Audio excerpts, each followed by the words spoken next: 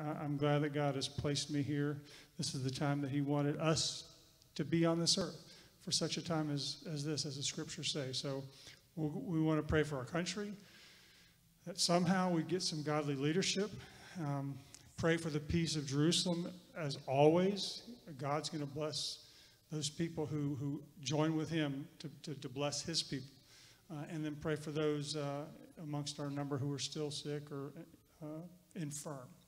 Father, we thank you, Lord, for, for another wonderful day that you've given, Lord, to us. You've, you've, you've given us to us uh, as a loan, Lord, that we would take this day and be good stewards of it in everything that we do. So tonight, Lord, we pray that you'll speak to us tonight from the, from the scripture. Help to equip us to be ready to give an answer to every man a reason for the hope that lies within us. Lord, I pray that you let um, your peace, uh, Father, continue to pass over Jerusalem. Um, we know that that time, the time's coming, Lord, when there will be uh, war and turmoil and strife there, but we always want you know, your, your people protected by you. And Lord, I believe you're going to do that. So we also want to pray for our country, those who lead this nation, uh, that they would be impacted by, by the Spirit of the living God to do those things which are best uh, for the citizens of this country and best for your plan. So, Father, we, we love you. We thank you for the word that you've given to us and just pray that we'll rightly divide it tonight. Uh, in Jesus' precious name we pray. Amen. So, we have um, tonight and then one more week next week, and that'll finish up our summer session, and then we'll get started on the fall session. And so, there's books. Uh, I think everybody's got a book right now. Um, we are still in the the division they call um, contending for the faith in a secular world. I believe that's what this lesson's, this whole study is entitled. And this week's is entitled The Problem of Evil and Suffering. And this is a topic that can be very confusing for the Christian who isn't well versed in the scriptures. Um, we may not have a problem we, we may understand the reason for pain and suffering in the world, uh, evil, um, but we need to be able to take that and give it to the world because people in your life, unbelievers, are going to question you. They're going to question God, right? They're going to have questions sometimes that if you're not equipped to answer, uh, then it can be a detriment to your faith. It can be a, an impediment to, to a witness, and we want to be good witnesses at all times. Unbelievers love to throw evil and suffering and pain in the faces of the Christian. What, what do they say? If God was a good God, uh, if, if He's a good and loving God, why is there pain and suffering in the world? All right, and that's a very simplistic question, uh, and, and, there's no, there's not a simplistic answer to that.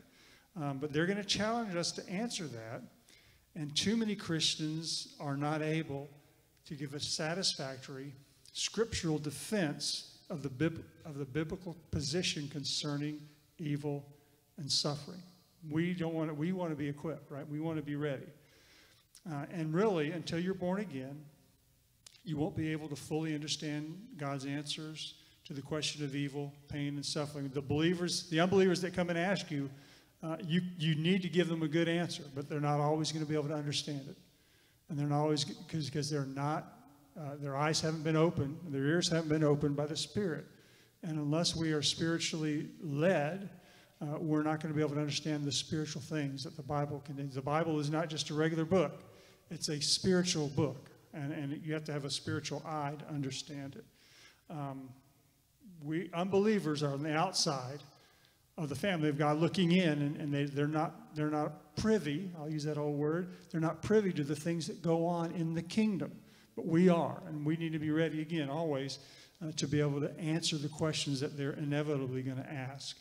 First Corinthians talks about this. The world thinks, and we know this, the world thinks they're very smart. The world thinks they're very progressive and, advanced in intelligence, especially over the Christians. They think we're a lot of rubes, I guess. I don't know what word you'd use. Uh, we're, we're like the Galileans were. They weren't very well thought of in the day. Um, but in 1 Corinthians 127, the scripture says, But God hath chosen the foolish things of the world to confound the wise. And God hath chosen the weak things of the world to confound the things that are mighty.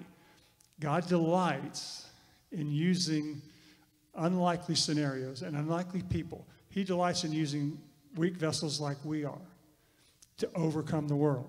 All right? as weak as we are in the flesh, and as sometimes as weak as we can be in the spirit, God has given to us everything we need to do that, that we need to overcome Satan, right?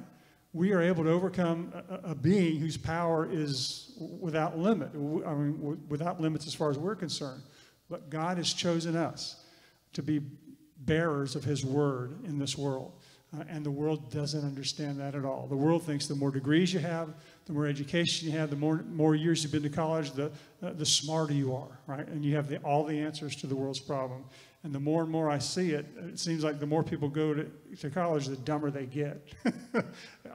to be honest with you, they just, it seems like there's a lot of foolishness going on in the world of education today. So, um, the first part of our lesson this, this, this evening is entitled Sin Brought Dysfunction. Uh, and we start in Genesis chapter 1, verse 29.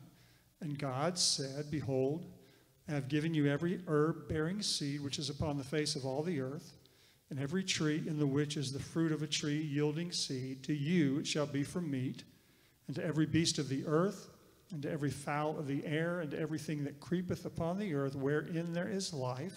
I have given every green herb for meat. And it was so. And behold, uh, excuse me, and God saw everything that he had made, and behold, it was very good. And the evening and the morning were the sixth day. So we have here uh, the end of the creation narrative, how God created everything. Uh, six days it took him, or he, he took, I should say, six days um, to create everything, uh, all the heavens and all the earth. And at the end of each day, he looked at what he had created and said, It is good. But at the end of the sixth day, when everything was complete, he said it was very good. All right, and there, there's a difference between very good and good. When God finished his creation, he declared everything was not just good, but very good. He made the earth and all the life on it exactly how it was supposed to be. All right? And there is, there's even controversy uh, amongst so called Christians. I'll tell you, God made everything the way He designed it to be. All right? Let's always remember that. And He said it was very good. If you remember this, I know we all do. Goldilocks and the Three Bears. I love the story. I used to tell to my kids. And you know how it went. Goldilocks went into a place she shouldn't have been. She was trespassing in someone else's house, and today she'd get arrested and thrown in jail or whatever. But she began to partake of certain things in the house. And when she got to the baby bears stuff, it was always just right, right? The porridge, Papa Bear's porridge was too hot, Mama Bear's porridge was too cold, but Baby Bear's porridge was just right. And that's how God created the earth. Everything was just right when He was done. Um, there was nothing lacking, excuse me, nothing missing, nothing was deficient. Everything in the creation and about the creation was perfect. It's not like that today, in case you haven't noticed. Things have changed somewhat since the creation. And so Genesis chapter 3 uh, instructs us about that change, or the causation, I should say, of the change. Now, the serpent was more subtle than any beast of the field which the Lord God had made. And he said unto the woman, Yea, hath God said, Ye shall not eat of every tree of the garden? And the woman said unto the serpent, We may eat of the fruit of the trees of the garden, but of the fruit of the tree which is in the midst of the garden, God hath said, Ye shall not eat of it, neither shall ye touch it, lest ye die. And the serpent said unto the woman, Ye shall not surely die. For God doth know that in the day ye eat thereof, then your eyes shall be opened, and ye shall be as gods, knowing good and evil. All right, so we're very familiar with this scenario. Eve is in the garden. The serpent comes where Eve is, and he begins to ask questions or to, to challenge her in, a certain way. Um, so remember the title of the series we're in, Defending the Faith in a Secular World. This conversation that Satan had with Eve is repeated every day by unbelievers in this world. All right? They're always saying, well, God didn't really mean what he said. They're always going to say that. Uh, there may be different variations of the same theme, but it always boils down to the same thing. The world questions what God has said. All right? And the, the Christian uh, has to be able to answer that question. we will see in the coming verses that Eve was not prepared to defend the faith that she was given. She didn't have a whole lot either, right? God didn't put a whole lot of burdens upon Adam and Eve. It was really one thing. Here's the one thing that you've got to trust me and believe me for. And Eve was not able to defend that, that word that God had given her. The world will attempt to cast doubt on God's word, and we can never, I capitalize that, we can never compromise on the truth of the Bible. If you see um, the, the culture that's around us, um, they want certain things to change, right? They don't like the way things are. And so they're out there, very loud voices, and, and wanting things to change. They're wanting us as a nation to compromise on the founding beliefs that this country was built on. And we've seen governments and, and organizations, businesses have capitulated to those demands. They said, okay, we'll give you what you want. But if you've noticed, they're never satisfied with what we've given. Not what I've given, but what this country's given. They want more and more and more. As soon as the world knows you're going to compromise your message or your beliefs, they're going to keep pushing you until you completely come over to their side. And so that's what uh, Satan wanted to do uh, in the case of Eve.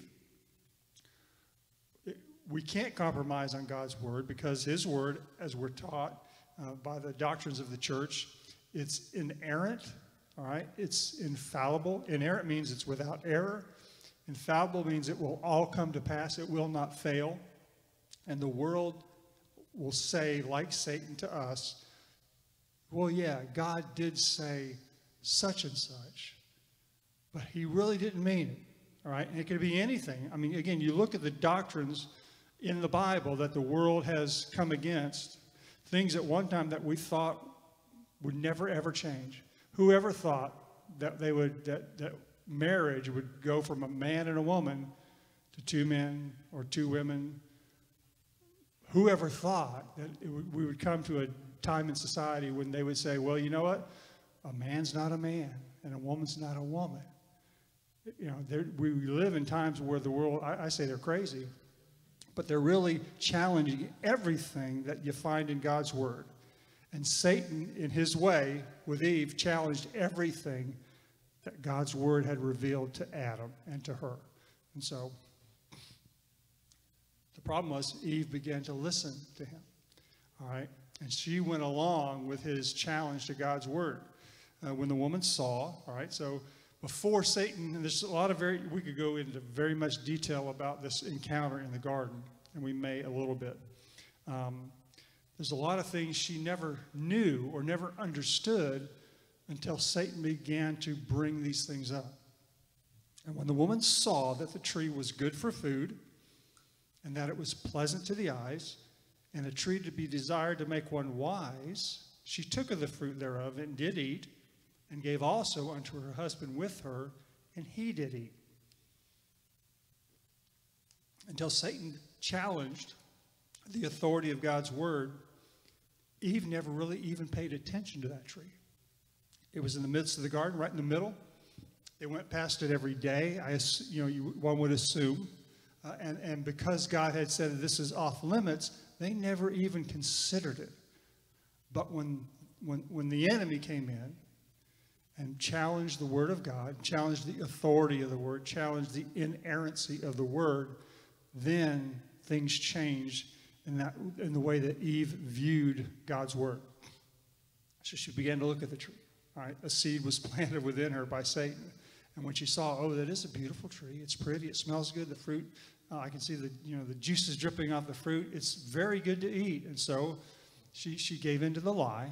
She compromised on what she believed, and she, she partook of the fruit. And then she uh, gave to Adam, and he also ate. And when they did that, Scripture says that the eyes of them both were opened, and they knew that they were naked. And they sewed fig leaves together. I'm going to go get a cough drop. And made themselves aprons. And they heard the voice of the Lord God walking in the garden in the cool of the day. And Adam and his wife hid themselves from the presence of the Lord God amongst the trees of the garden. And the Lord God called unto Adam and said unto him, Where art thou? Now, God, he knew where Adam was. And Brother Spratland just preached about this uh, this past weekend. Uh, he, he knew everything about Adam and Eve. God often asks us questions, not so that he knows the answer to it, but that we'll know the answer to it, right? That he'll provoke a response from us when he asks us certain questions. And Adam said, I heard your voice in the garden, and I was afraid because I was naked, and I hid myself. And God said, Who told you, who told thee that thou wast naked? Hast thou eaten of the tree whereof I commanded thee that thou shouldest not eat? And the man said, it's not funny, but he, he, was, he was trying to deflect um, God's gaze away from himself to the woman. And, and the man said, The woman whom thou gavest to be with me, she gave me of the tree, and I did eat. And then the Lord God said unto the woman, What is this that thou hast done? And the woman said, She also deflected God's gaze away from her and said, um, and the woman said, The serpent beguiled me, or the serpent fooled me, and I did eat. And the Lord God said unto the serpent, Because thou hast done this, thou art cursed above all cattle, above every beast of the field, and upon thy belly shalt thou go, dust shalt thou eat all the days of thy life, and I will put enmity or division, uh, tension you could call it. I will put enmity between thee and the woman between thy seed and her seed. It shall bruise thy head, and thou shalt bruise his, bruise his heel. Then unto the woman, God said, I will greatly multiply thy sorrow and thy conception. In sorrow thou shalt bring forth children, and thy desire shall be to thy husband, and he shall rule over thee. And unto Adam he said, Because thou hast hearkened unto the voice of thy wife, and hast eaten of the tree of which I commanded thee, saying, Thou shalt not eat of it, cursed is the ground for thy sake. and sorrow shalt thou eat of it all the days of thy life. Thorns also and thistles shall it bring forth to thee, and thou shalt eat the herb of the field. In the sweat of thy face shalt thou eat bread till thou return unto the ground. For out of it wast thou taken, for dust thou art, and unto dust thou shalt return. When sin entered God's perfect creation, when God created everything, it was good. It was very good. It was just right, as we say. But sin entered and immediately began to change the way that we relate to each other and how we relate to the creation itself. The whole dynamic began to change because of disobedience, because they, they, they disobeyed the word, the one law that they had. They broke it. And whenever you break the law, there are, ram- there are consequences. There are, ram- there are ramifications that happen. Um, we live in a society where the laws are broken all the time. And you don't see the, the consequences all the time because a lot of these laws are ignored. But God will not ignore the laws that He's established. He won't ignore the laws that He's put into place. He will make sure that they either get obeyed or that there's a punishment for not obeying them. So Whereas the woman at one time was going to give birth to children in joy and in, in relative ease, I'll say. Sin and the curse, is what we call when God began to curse them. Instead of that, her childhood, her childbearing became labored, right? All you women who've had children know it's labor. It's not easy. I don't know not many women that I know of in my life have had easy childbirth experiences. Um, and it wasn't supposed to be that way. God did not create that to happen in that way, but that's what sin brought. When Adam, his one of his, and, and really when you look at the world looks at women, motherhood, we'll call it.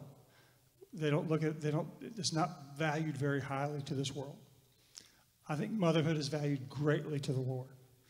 women are the only ones, am I on TV? Women are the only ones that can have children. All right? God created it that way.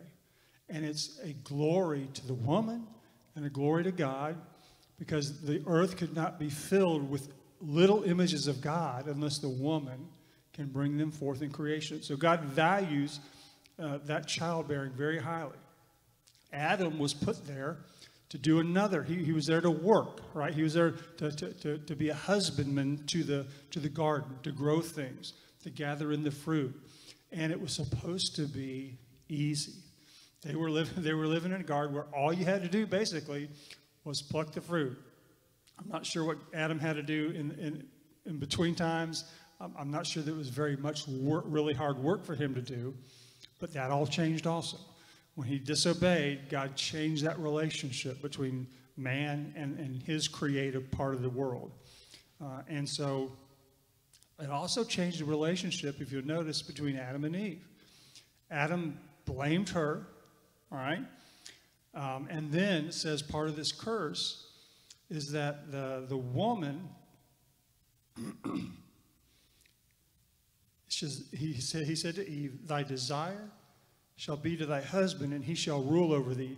And some commentators have said that this was the woman, that this phrase means that the woman wanted to have rule. She wanted to usurp, right, the, the natural um, headship of the man and take it over. Again, and we do see that. We see a lot of tension at times between men and women in, in marriage relationships where it shouldn't be. Again, if the man loves the wife as Christ loves the church, then the wife will submit to the husband. And it's a beautiful relationship. That's how God intended it. That's how it should have been. But sin came in again and destroyed that. And of course, ultimately, finally, sin led to death. That's the final outcome of sin. Uh, the wages of sin is death, the scripture says. And so, the fur, and so sin entered in in the garden.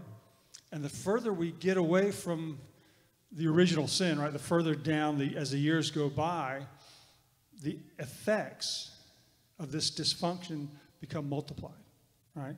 Uh, it, it's worse and worse and worse and worse. If you remember in the early, in, in the book of Genesis and even in, Ex, in, in the book of Genesis, uh, people lived a long time 800, 900, 7, 8, 900 years they lived on the earth. And sin changed all that. It began to greatly shorten the lifespan. It, it brought, I don't believe, I know that sin and sickness wasn't here until sin came in. I mean, sickness and ill health wasn't here until sin came in.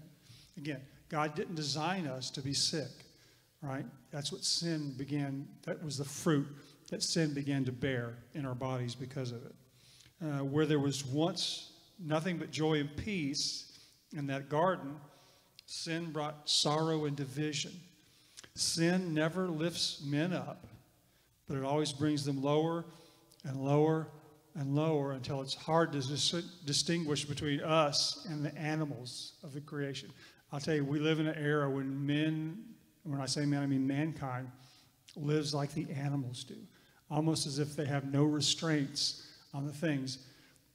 One of the characteristics that God has given humans is that we can restrain ourselves from doing base things, if you, if you use that word. Animals have no restraint, right? They do whatever they want to. But men, mankind, should have some restraint, a capability to restrain themselves. And it seems like today's, in today's culture, there are no restraints anymore. Everything can happen. Then, our next section, it says human nature, sin, a corrupted human nature. Psalm 51 5. This is David writing. He says, Behold, I was shapen in iniquity, and in sin did my mother conceive me. Um, the world doesn't like verses like this. I'll, I'll, be honest with you, the world doesn't like many verses of the Bible. Very, very few, but they certainly don't like verses like this. Uh, the world will say that mankind is born good, right? We're all born good. We're all born with great potential that we're, that we're not at fault for the things that we do, right?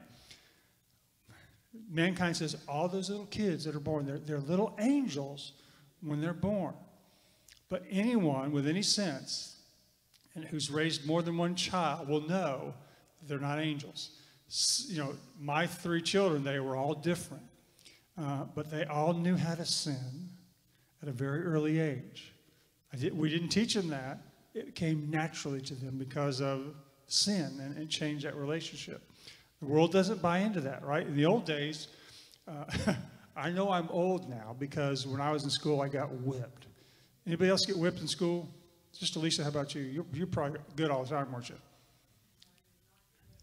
Oh, okay. But they were whipping kids in school when you were there, right? Okay. I got a few, all right?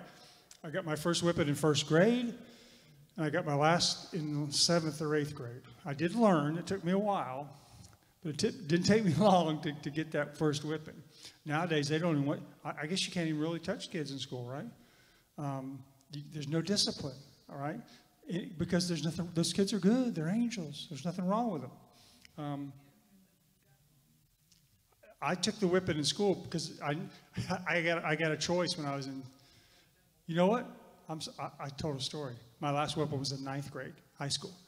Uh, I got a choice. I was, I was messing around in class, and they said, you can either stay late after school or you can get licks. And I knew if I stayed late after school, my dad would say, why did you stay late after school? And I'd get more licks from him. So I took the licks and went to go home. I got to go home on time. So it was ninth grade. um, but the world says, okay, the world also says, you know, we're, we're born good. We have, the, we, we have this great potential inside of us. Um, we're good people. Uh, it's not my fault. It's just the way. So when something happens, so, and this Psalm, Psalm 51, is about David and his experience with Bathsheba, right? We, we know the whole scenario there. He, he sent her husband, he, he murdered her husband basically uh, because he had an adulterous affair with her and he wanted to cover it up. But he didn't blame anyone but himself. That's what David, and that's there's a difference between that attitude and the world's current attitude, which says, I'm not to blame for these bad things that I've done. All right? Uh, it's, it's the way I was raised. Okay, I was raised with, a, with parents who beat me every day, whatever, whatever it is. Um, it's the injustices of society that have, have put me down and made me do these bad things when we realize, like David did, that we were born in sin, uh, then we can begin to cry out to the Lord for his mercy and his grace. All right? Again, this, the world says, I did, it's not my fault. The, what's that? The old uh, comedian said, the devil made me do it. I always want to blame somebody, but God says we've got to own up to the fact that sin has changed us. I believe Adam and Eve were born, were created sinless. They were. And had they not f- fallen in the garden to sin, their children would have been born sinless. But they weren't. All right. Sin began to, sin was a birthright that Adam passed on to every one of his children. It was part of, it was, it was a, a dark inheritance, so to speak, that, that we all have received from, from our father Adam. Isaiah 64 6 goes even further. it says, But we, and when, when David said, uh, In sin did my mother conceive me, he didn't mean his mother was a, his birth wasn't sinful, but she was a sinner, and, and his father was a sinner, and that sin followed him through, through the conception. Now, Isaiah says in 64 6, But we are all as an unclean thing, and all our righteousnesses are as filthy rags. And we all do fade as a leaf, and our iniquities, like the wind, have taken us away. There is none that calleth upon thy name. He's crying out to the Lord, that stirreth him up himself to take hold of thee. For thou hast hid thy face from us, and hast consumed us because of our iniquities. And then in, in Mark, the Lord himself says, Mark 7 20, they were the, the Pharisees were, were had seen Jesus and his disciples and how they ate. And when they ate, they didn't do all these ceremonial washings that the, the Pharisees did. When the Pharisees, before they ate, they did all sorts of things to clean their hands, multiple washings to make sure their hands were completely clean before they partook of the food. And they asked Jesus and disciples, Why don't you wash your hands like this before you eat? And Jesus' response is, That which cometh out of the, he said, It's not that which goes into the man that defiles you. But he says, It's that which cometh out of the man that defileth the man. For from within, out of the heart of men, proceed evil thoughts, adulteries, fornications, murders, thefts, covetousness, wickedness, deceit, lasciviousness, an evil eye, blasphemy, pride, foolishness. I tell this, this is a laundry list of bad things. All these things, Jesus said, all these evil things come from within and defile a man. It's not what you eat, it's not what you drink, it's not even the TV shows that you watch. Because guess what? Sin's already there. It's not even the devil. The devil really, God's going to prove this. Uh, when the millennial kingdom begins, we know Satan is bound for a thousand years and cast into a pit. All right?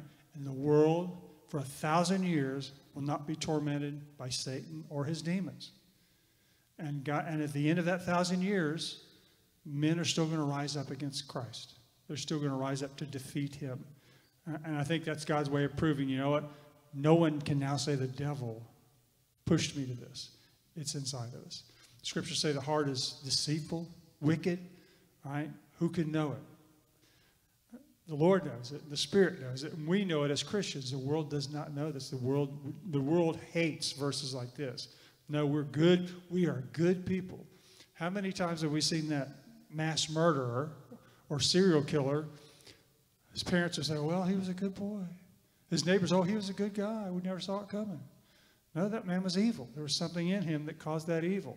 Um, but they'll blame anything nowadays uh, for the evil. They'll, they seldom blame themselves. And the world doesn't, doesn't want to do that. Yeah, once again, verses like these will actually cause the world to get angry. Sinners, it's not funny, but sinners don't like being called sinners. And it makes them mad, right? It makes them mad when you call us. There can be two responses. When, when the gospel is preached, for instance, people can get mad or people can get saved, right? The Spirit speaks to his heart. He's going to realize that he's a sinner. When I heard the gospel when I was at Bible uh, in Bible camp, it, it, it, I knew. I mean, I was 13 years old, but I knew that I was a sinner. I knew I was going to hell if something didn't change in my life, and, and I gave my life to the Lord back then. Um, but most of the time, when that message is preached, people don't like it, and they'll get angry at the at the at the preacher. Uh, this, they're mad at the one who preaches against sin, and they're mad at a God who punishes sin. They don't like the fact that sin's going to be punished. The reality of hell is certainly an idea that makes them angry. Every, all these celebrities who, who, who die of anything, and a lot of them it's drug overdoses or, you know, certain, a, certain lifestyle that doesn't lead to long life, uh, when they get to their funeral, oh, they're singing, they're, they're singing in heaven now. I got news for them. They're not, more than likely, unless they gave their heart to the Lord and were born again. A lot of these people are going to wake up and, and they're going to realize there is a heaven, there is a hell one day. But for right now, the world hates the idea of a hell and of a God who punishes sin. The spirit of this world wants to convince you that sin either doesn't exist or that it doesn't matter very much. They're very good on downplaying um, sin and, and, and evil behavior. After all, the world will say, I do more good deeds than I do bad deeds, and that should be worth something to God, right? And that's we see this in certain religions. They say, you know, you do more. That's that's the way they think they can get into heaven. Um, they just don't know the Bible because the Bible says in Isaiah, all your righteousness are as filthy rags. All right, and, and that's what, how God sees our righteous deeds, the things that we call righteousness. What He sees as as as so the scripture, so we would say, how in the world then can we make it into heaven? Jesus said, unless your righteousness exceed that of the Pharisees, you're not going to see the kingdom of God. Right? Because it's not our righteousness that gets us into heaven. It's, it's Jesus' righteousness. Verse uh, Romans 3.23, For all have sinned and come short of the glory of God. Um, have you ever heard there's a hypothetical question that, that comes up every once in a while. Maybe you've heard, I know I've heard it, maybe you've heard it. The question goes something like this, and it can be a different question, a little bit different. It says, what, What's going to happen? Or Brother Rick, what's going to happen? They don't call me Brother Rick, they call me Rick. What's going to happen uh, to those natives in the middle of the African jungle who've never heard of Jesus when they die? Are they going to go to hell? Are they going to go to heaven? All right. Well, if they've never heard of, if they never, if they weren't born again, I, I usually, I usually don't tell them this answer, but if they're not born again, they're going to go to hell. We know that, right? Jesus answered a question very similar to that to some of the people around him. Luke chapter 13, verse 1. There were present at that season some that had told him, told Jesus, of the Galileans whose blood Pilate had mingled with their sacrifices. So there was a, an event that happened. It was the time of whatever sacrifice it was, whatever, excuse me, whatever feast that they were celebrating.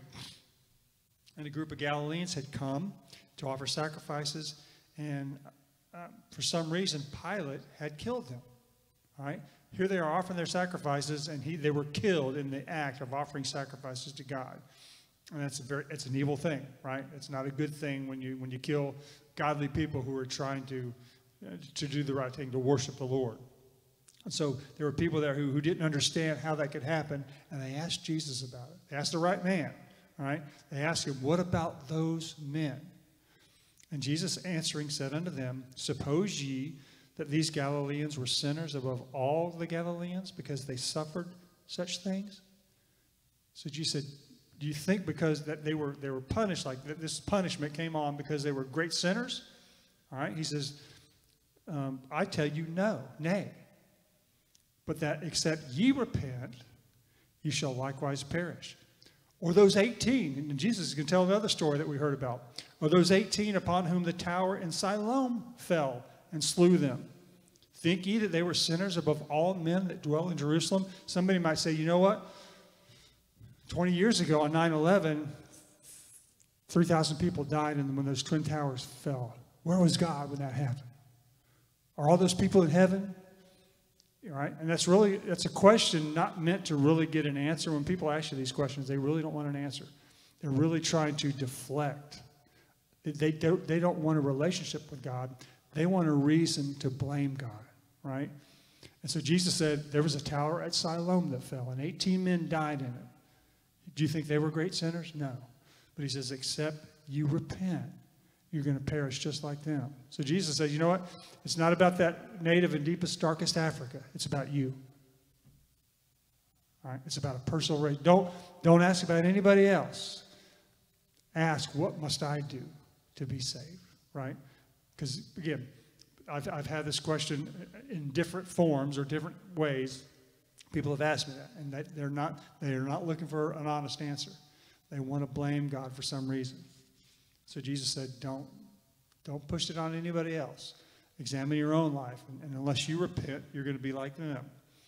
Um, men are prone to deflect attention from their own sins and instead point to someone else's misfortunes. Right? Uh, Romans 5:18. Therefore, as by the offense of one Judgment came upon all men to condemnation, even so, even so by the righteousness of one. The free gift came upon all men unto justification of life. For as by one man's disobedience, Adam, many were made sinners, so by the obedience of one, Jesus, shall many be made righteous. Moreover, the law entered that the offense might abound. But where sin abounded, grace did much more abound that as sin hath reigned unto death, even so might grace reign through righteousness unto eternal life by Jesus Christ our Lord. I love this little verse here. You know, the scriptures in the New Testament compare Adam and Jesus, right? The first Adam and the last Adam, they call it. The first Adam was in the garden who disobeyed the Lord. The last Adam is Christ. And that's why uh, we've, I've, I've talked about this before that when Jesus came to the earth, he was fully God and fully man, right? If you, if you cut him, he bled, right? If you hit him, he would bruise, and we know that. Um, and when he walked on this earth, he was walking like Adam should have walked in that garden. He, everything he did was in obedience to God, obedience to the law, and in submission to the Holy Ghost. Jesus was completely led by the Spirit. And what he did, he did in his humanity and not in his deity. And, and to me, it makes a big difference because it tells us I can walk like Jesus did. I can be like Adam should have been if I let God, if I let the Spirit of God move me, if I listen to Him instead of listening to the world, right? I can do these same things. We have been given, when we're born again, we've been given the ability to live perfectly. We don't often do it, but we have that ability to do that. And so when Christ came, he fulfilled everything that Adam should have. And that's how, that was part of the plan, to, to for, him to walk like a man and, and do these things uh, and, and to, to show, and to bring, again, to bring that eternal life back to the earth where it should have been. In the garden, Adam and Eve had the potential to live forever. Because there's another tree in that garden, the tree of life. And all they had to do was partake of that tree of life, and they would have lived forever. God designed Adam and Eve to live forever in those earthly bodies, all right? Sin changed it all. Christ came to bring it all back. Romans 8 18 says, and the final section we're starting here is, the, is called the triumph of God's justice. And again, the world needs to, we need to know these things, and we need to let the world know these things because the world needs to know these more than we do. We already know the, the truth, right? The world needs to know this also, to know that there's a hope. And so this is called the triumph of God's justice. God is a just God. God's a loving God. He's a merciful God. He's a gracious God, but He's also a God of justice. His justice will happen. Romans 8, 8 18, Paul says, For I reckon that the sufferings of this present time are not worthy, worthy to be compared with the glory which shall be revealed in us. And we know that all things work together for good to them that love God, to them who are the called according to his purpose. The reality of sin is that it has nearly destroyed this world. If you, you can look around, it's almost destroyed. Um, relationships between men and women, almost destroyed. Uh, even the environment itself, by, by, by, certain ways that we live, have, have really taken its toll on God's creation. Um, the further away that we get from the garden, the more pain and suffering that the world experiences. The Bible also doesn't pretend that everything's okay, right? The Bible is a book of truth. It's not a fairy tale. Uh, it's not a feel good book, even though some preachers only preach the feel good parts of it. It's a book that tells it like it is. Paul says, I reckon that the sufferings of this present age are not worthy, worthy to be compared to the glory which shall be revealed in us. But Paul knew suffering. He says, We're gonna, you're gonna, you're gonna, Jesus said, You're gonna suffer if you're my disciple in this world. And suffering is not good. It's, we don't like it, it hurts, uh, there's, but there is good in suffering because God has intended and designed suffering to make us stronger, uh, or more, probably ideally to make us more reliant upon His strength instead of our own strength. And Paul says, though, even though I suffered a lot, Paul suffered a lot for the gospel, for the sake of the gospel, he knew that it was nothing compared to the glories of heaven. Because Paul had also seen great visions he was taken up into the third heaven, the scriptures say. So he, he knew the glory that awaited him, uh, but he also knew he had to wade through all this mud and muck and mire down in this world to get to that glory. He also said, We know that all things work together for good to, to them that love God. It also doesn't say all things are good, because we know that's not true. Um, Sister Lisa gave a testimony Sunday about some of the struggles she's gone through in her life. It hasn't all been good. It's been painful, but it has made you a better Christian. It's made you a stronger person. God has, has used those difficulties, those sufferings, and those trials and those pains to make you a better person. You're more, I, I think you're more reliant on Him now than you were back then. All right? And that's good. It's not always good when you're going through it, but it works together for the things that are good. I love it when Joseph said, You meant it for evil, but God meant it for good. Joseph suffered almost like Christ did, right? In many ways. I mean, he was, he was I don't know if he's beaten, but he was in prison. Uh, they told lies about him, all right? He was forgotten, he was abandoned, he was forsaken, but God brought him out of all that. He was, he was there for years. I mean, he was a young lad when he was taken away into captivity, away from his parents, away from his family, away from his home country, and he went into a strange place. But through it all, God had designs for him, and he saved not only Egypt, but he saved the nation of Israel. He, he, he was, he was an important part of that growth of that nation. Uh, but he had to suffer a lot for it. But it worked together for good. Then he, Paul goes on and says, Who shall separate us from the love of Christ? Shall tribulation or distress or persecution or famine or nakedness or peril or sword? Paul had known all these things. As it is written, for thy, for thy sake we are killed all the day long. We are counted as sheep for the slaughter. But then Paul says, Nay or no. In all these things, we are more than conquerors through him that loved us. And, the, and, and when the battles of life, when it seems like the enemy's going to beat us, you can know that you're more than a conqueror in, through Christ Jesus. For I am persuaded, Paul said, that neither death, nor life, nor angels, nor principalities, nor powers, nor things present, nor things to come, nor height, nor depth, nor any other creature shall be able to separate us from the love of God which is in Christ Jesus our Lord. Sin has brought all these perils to our life, to this world where they should never have been.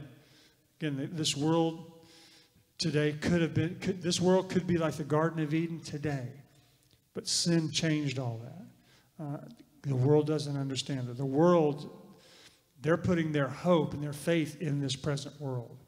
And I can understand how disappointed they are when they see all these uh, natural disasters, as, as they call them, or climate change that goes on. And they feel helpless to do anything about it because you know what? They are.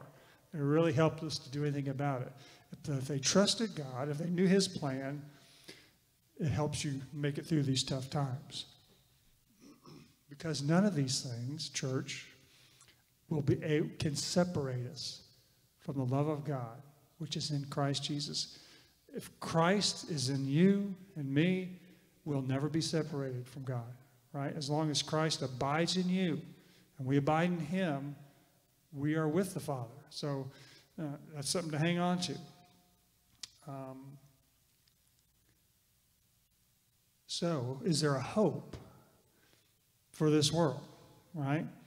we, we want to do all these crazy things. So climate change is the newest, is the latest thing. Uh, back in the 70s and 80s, we were actually in danger, that the scientists said, of entering into another ice age. Global cooling was the problem in the 70s and 80s, and now that's changed to global warming.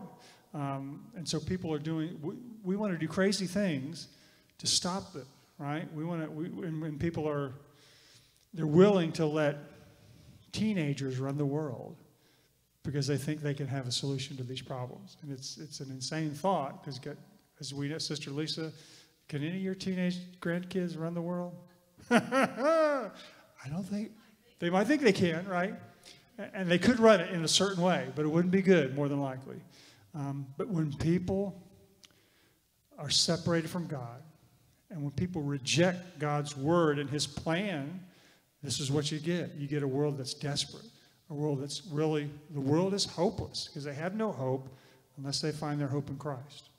We found ours. I mean, we know, we know, you know Christ in me, Christ in us, the hope of glory. Uh, the world has, doesn't have that hope, so we, we, need to, we need to make sure we don't compromise uh, the Word. We don't compromise our faith. We don't compromise our walk or our testimony because there's a new day coming. Revelation chapter 21. And I saw a new heaven and a new earth, for the first heaven and the first earth were passed away. And there was no more sea. And I, John, saw the holy city, New Jerusalem, coming down from God out of heaven, prepared as a bride adorned for her husband. And I heard a great voice out of heaven saying, Behold, the tabernacle of God is with men, and he will dwell with them, and they shall be his people, and God himself shall be with them and be their God. And God shall wipe away all tears from their eyes, and there shall be no more death, neither sorrow nor crying, neither shall there be any more pain, for the former things are passed away. Right now, pain and sorrow and death and tears are here. They're the pre- that's the way the world runs right now. All right? We've all cried. We've all felt pain. We've all felt sorrow. We've all felt loss in some way. Um, and, and, it makes us, you know, it makes us long for a new world. It makes us long for heaven. I don't know about you. I want to, heaven, this is a picture of when heaven comes down to earth and everything changes. It says God Himself is going to be here. He's going to be tabernacling, living on this earth. And I, God, I, I don't know if He's going to do this or not, but I imagine, I like to imagine that God is going to, that we're going to have a, that there's going to be a garden on this earth. And God's going to go in the cool of the day in that garden. He's going to walk with us and talk with us. And we're going to have that communion that Adam had and Eve had at one time before they lost, before they uh, counted it as not very important and cast it away. It's going to come back to this earth, and, and the garden is going to cover the earth, I do believe, in some ways. And God's going to be there with us. God's going to wipe away all tears from their eyes. There shall be no more death, hallelujah, neither sorrow nor crying, neither shall be, there be any more pain, for the former things are passed away. And he that sat upon the throne said, Behold, and this is in my Bible, it was in red letters. So this is Jesus speaking. And he that sat upon the throne said, Behold, I make all things new. And he said unto me, This is John, write, for these words are true and faithful. And I tell you, the world doesn't believe in truth. They believe in, in, in, in their truth. They believe in, uh, it's like Brother David, it's like, Brother David, I, I believe in my truth, Brother Rick's truth. And you can believe in Brother David's truth. You know, that's foolishness, right? There is no truth unless it's God's truth. Um, Jesus Christ said, I am the way, the truth, and the life. He is the truth. The Word is the, is the truth that we need in this world. And that's why the world is like, it's, it's been cast adrift because they've forsaken the Word of God. They've forsaken the Bible. So there's no more, it's like, they, it's like they were, there was an anchor. The Bible is an anchor for the soul. But they've cut the rope because they don't like that anchor anymore. And now they're drifting in a, in a crazy world, in a, in a storm tossed sea, and, and, there's no way to, to, to save themselves except to get back to that anchor, which is the Word. These words are true and they're faithful. God, Jesus said, My words are true and they're faithful. They're going to cut, they will come to pass. And by faithful, he means they're infallible. He said it, and it's going to happen. So, um, the world needs to know this. It, more than any time in this world's history, they need to know that there is a hope and that there is a future. Uh, there's a new world coming that's going to be way different than this, this world that we see all around us now. Any questions or comments? Yes, ma'am.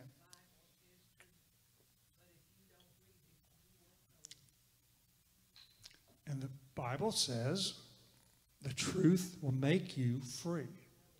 Right? Right. The world isn't free. The world doesn't know the truth, and they're in bondage to the lie. Right? The lies of this world have, have held them in bondage. Um, the God of this age has, has, blinded the eyes of people that they might not see the truth. You know, he's, he's cast a, a curtain over a lot of this, a lot of this, the population of the world, so that they can't even see the truth of the Bible. It seems so, it's obvious to us because we've, you know, the veil's been taken away, we've gone through that curtain, and God's brought us in, we know all these things. The world, again, they're desperate. You see, again, we just look around this country, and you're going to see the desperation of people who don't know God and who, who, who are desperately seeking something other than God. They're going everywhere but to the Bible and to the Lord, right? And they're never going to find the answers that they want there. Got to come back to that throne where, where the faithful and true one sits. All right. Father, we thank you, Lord, so much that you are faithful, that you are true, Lord, and that you have um, you've ordained a church, Lord, that, that is going to make it to the end. That's going to be uh, with you eternally. uh, in, a, in a great place. So, Father, I just pray you'll help us to, to, to let these truths find a place in our hearts, our souls, that they might grow and they might give us courage and strength in these dark times. Lord, that we can still be the light of the world. This world needs light. And Lord, where they need the light of the light of the gospel to illuminate the path. So Lord, let us be light bearers in a world of darkness. Father, we want you, we need your strength. We need your mercy. We need your grace, O oh Lord. And we love you so much for, for all that you've done for us and all that you promised to do for us. So Lord, we, we pray that I pray your blessing upon this class, that you touch our hearts, touch our souls, touch our bodies. Uh, give us strength, health, peace, life, and love, Lord. And we will give you praise and glory and honor in Jesus' name. Amen.